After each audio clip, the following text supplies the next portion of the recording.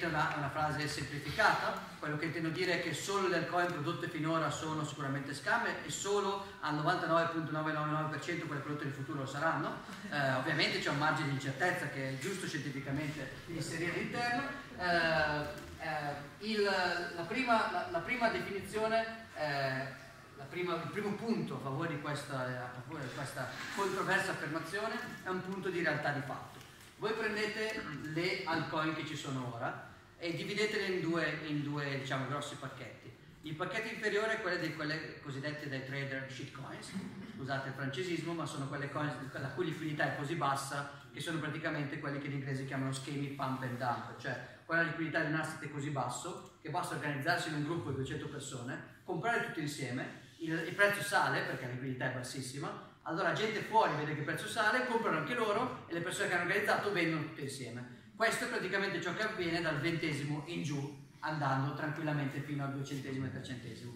Però ci sono i top 20 che invece hanno liquidità che comincia a essere importante. Andate a vedere da vicino, e qui purtroppo se chi di voi, se qui abbiamo appassionati di IOTA, appassionati di Ethereum, appassionati, possiamo entrare nel dibattito specifico, la mia valutazione professionale dopo anni di studio su queste cose, che non prendete per oro colato, verificate sempre, quindi quello che io vi dico ho raggiunto io come conclusione inequivocabile è che con ognuno di questi progetti in top 20 per una serie di ragioni sono una serie di cattive idee proposte per Bitcoin intorno al 2012-2013, non accettate in Bitcoin perché non aveva senso, recuperate da team eh, del 2015, 2016, 2014, rivendute come nuove e come possibili, eh, rese possibili da, da, da due fatti. Primo, nessuno le usa e quindi tutto funziona quando nessuno la usa. Due, eh, tutto è centralizzato sotto un punto di comando quindi tutto funziona quando è centralizzato e questo rappresenta sostanzialmente tutte le top 20. Nel, nel merito vorrei parlarvi, non so, Ethereum. Voi andate su ethereum.org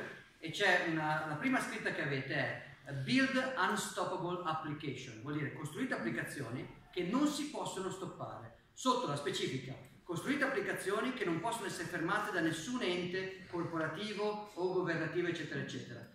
Problema, eh, quando una di queste applicazioni eh, ci mettono i soldi molti dei creatori di Ethereum e li perdono perché hanno, hanno scritto male il codice, the DAO, eh, Ethereum viene praticamente fatto rollback per cancellare la storia precedente, stoppare l'applicazione e annullare quello che l'applicazione ha fatto. Quindi tenere sul sito, potevano forse fino al 2016 tenere quella scritta, oggi quella scritta è una vera e propria truffa commerciale, cioè vi vendono delle applicazioni stoppabili con la premessa che sono instoppabili finché non decidiamo di stopparle noi, perché magari ci abbiamo perso soldi noi.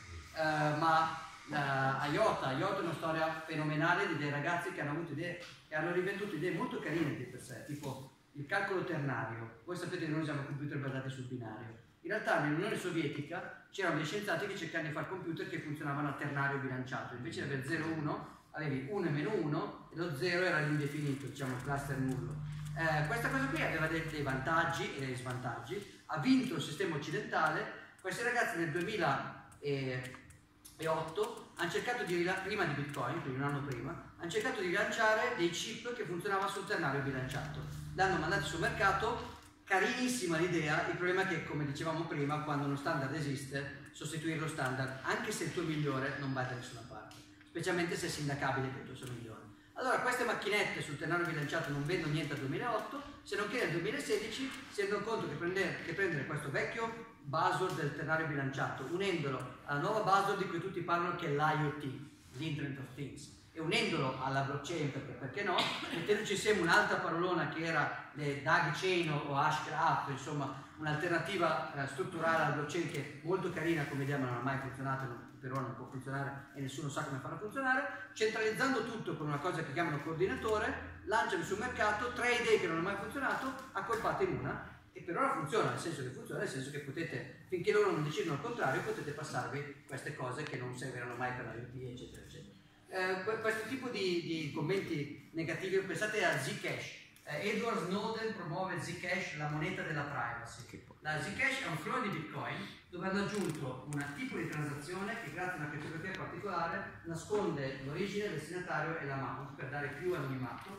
Peccato che questo tipo di transazione chiamato Z-Transaction costa ordini di grandezza in più di, di fee, di tempo di validazione, tempo di firma e quindi praticamente quasi tutti è opzionale quasi tutti usano la T-Transaction, che è la, la bioeconomica, che è una normalissima transazione Bitcoin completamente tracciabile. Risultato, c'è gente che sente Snowden e quindi va sul deep web e usa i suoi Zcash perché sono più anonimi, in realtà usa transazioni perfettamente visibili, con il più problema che siccome Zcash, eh, a differenza di Bitcoin, lo usano in quattro gatti, lo, quello che si chiama set di anonimato, cioè quanto dubbio ho su chi sei tu, è ridottissimo a quattro gatti, in più se anche volete usare la Z-Transaction, siccome la usano altri due gatti, avete ulteriormente ridotto, quindi siete più anonimi se usate la transazione in chiaro che se usate la transazione Z, perché il vostro limite 7, anche guardare le statistiche su, su Zcash, praticamente tipo due utenti al giorno fanno transazione, quindi siete voi, punto. Eh, questo, questo viene venduto, ma eh, io come dire, su questo tendo alla poca, eh, non ho molta carità verso questi progetti perché fanno dei claim importanti che per alcune persone potrebbero significare anche conseguenze penali pesanti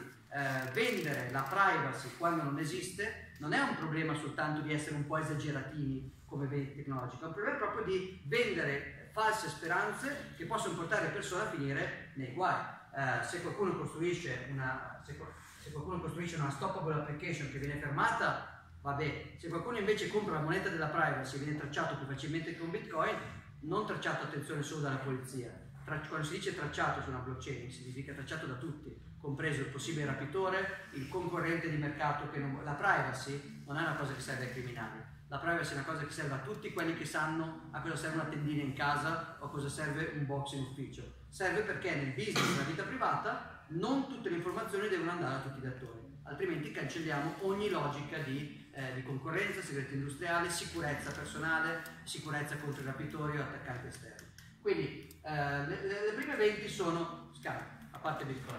Eh, le, le, altre sono scam per definizione. Ma andiamo sul teorico, magari un domani invece arriva la vera nuova valuta sostitutiva di Bitcoin. Allora qui andiamo più sul concetto di probabilità. Riprodurre Bitcoin è effettivamente molto molto molto improbabile. Perché riprodurre Bitcoin è molto improbabile? Per due motivi. Il primo è che um, la moneta ha un effetto, uh, uh, il vincitore prende tutto. Uh, come dicevamo prima, se tutti quanti parlano inglese, la probabilità che voi riusciate a fare la vostra conferenza in esperanto è molto molto bassa. Ma l'esperanto è meglio, è stato fatto, va bene, ma si parla in inglese.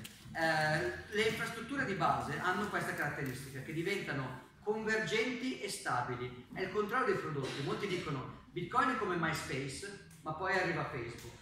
Bitcoin è come la Model T della Ford, ma poi arriva la Tesla, vabbè, c'è anni dopo però. Eh, questa è la metafora, sbagliata. Bitcoin è come internet. E cosa arriva dopo internet? Internet. Magari dopo 300 anni arriva una versione nuova di internet che mantenendo la retrocompatibilità al massimo evolve, ma non, ave- non, non c'è il concorrente. La, la, la società, le interazioni umane sono fatte astratti. Le estratti di base, la telepatia dopo internet, esatto però magari la telepatia manterrà il dominio.com per, per fare la promozione telepatica dell'e-commerce, perché vuoi la retrocompatibilità.